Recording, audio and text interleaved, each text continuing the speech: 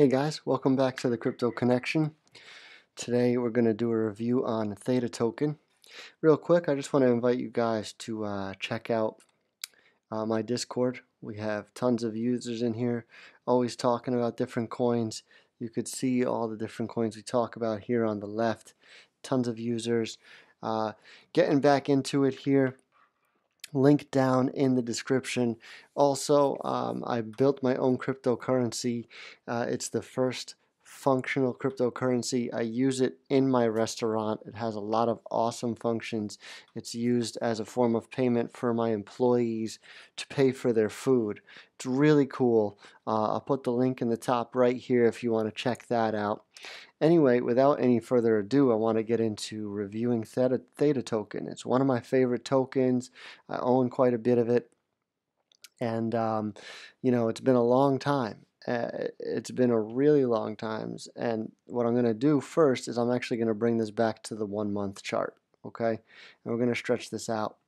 You could see here, I had, uh, the reason I want to do this is because I had um, drawn all these lines way back in the day uh, this was early in January. I was doing reviews on Theta, and um, these were all points of support. The yellow ones are support. Those are all resistance now. Okay, these are all resistance.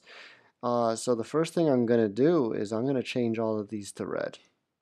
Okay, and uh, trust me, I'm just as disappointed as the next guy about this.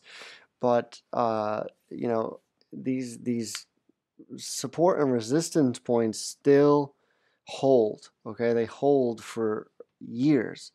Um, and I'm not going to let go of them because I put them there for a reason. Having said that, let's jump back into the one day.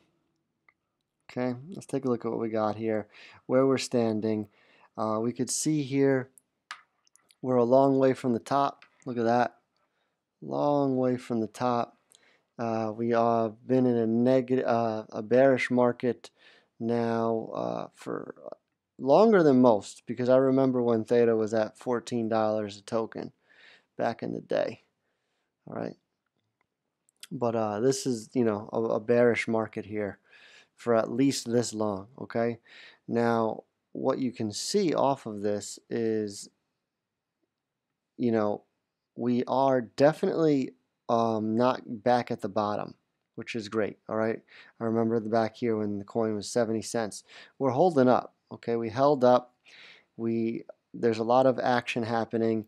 There's a 1.03 million in trading volume. All right. That's quite a bit. That's quite a bit of trading volume. All right. This coin is very much alive. If you follow Theta, they're very active on social media. I still have faith in this coin. That's my personal opinion on it. Now, what I'm liking here is that the coin sort of leveled off, all right? May 12th, we've kind of been going um, sideways for a long time here, all right? Creating quite a bit of support. And currently, we're pushing up, all right? We can actually draw another point of resistance here. Let's do that. Let's draw a ray.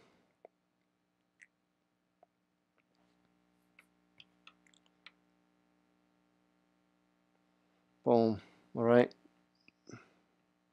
This is hard resistance right here, okay? That's our new hard resistance. This is soft resistance over here. Uh, there might be more coming up. I don't think so, though. I think that the, you know, we have the, the moving averages we have to get past, but this is going to be the next point of resistance is uh, $2. But right now, sitting at 140, um, we're looking at we're looking at that to be the point of resistance. And what do I see going on here? Well, first of all, um, we're above the 20 day moving average and the 50 day moving average. All right. We have a slightly bullish run here. Slight, slight bullish run. Okay. Very slight. Labeled here by blue. Okay. Well, we have three touch points on it. All right. That's all positive, And that's where we're kind of at. Um, we have this as a trend line, a bullish trend line. We have the 20-day moving average, the 50-day moving average, and we're playing with resistance right now. That's what we're playing with.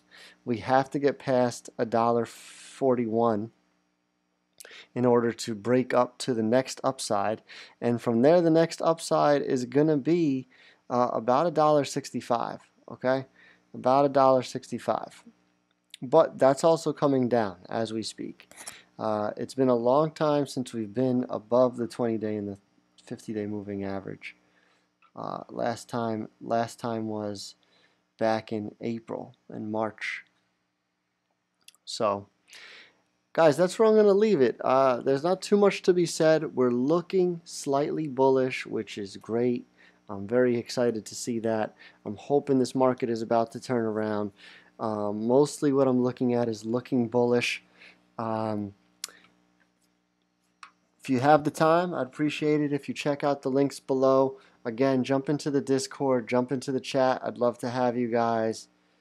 Um, and also check out my cryptocurrency. Uh, it's extremely unique coin used in the restaurant that I own. Thanks for watching, guys. I'll see you on the next one.